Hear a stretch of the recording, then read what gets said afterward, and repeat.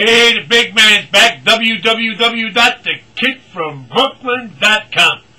You know, I went into that Starbucks the other day. You know, they got they got all these fancy things there: cafe frappe, cafe lotto, cafe cappuccino, cafe this. They charge you five dollars, five dollars for a cup of coffee with a little squirt of syrup. You know, banana, strawberry, whatever they do. They put it in a blender. They put a shot of whipped cream on. They charge you five dollars for a cup of coffee. I'm telling you, the world's coming to an end. I'm telling you, the world's coming to an end.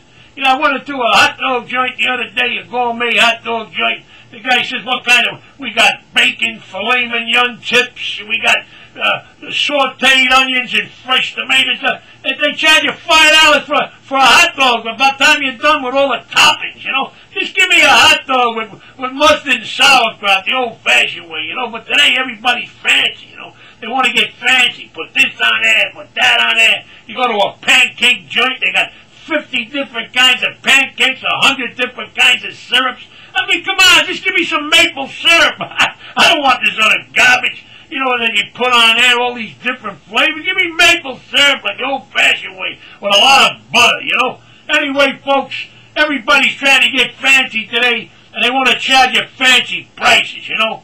The big man, he don't go for that. You know, he goes in for the old-time way, you know. Anyway, this is the big man signing off www.thekidfrombrooklyn.com. And the big man's always happy to see you.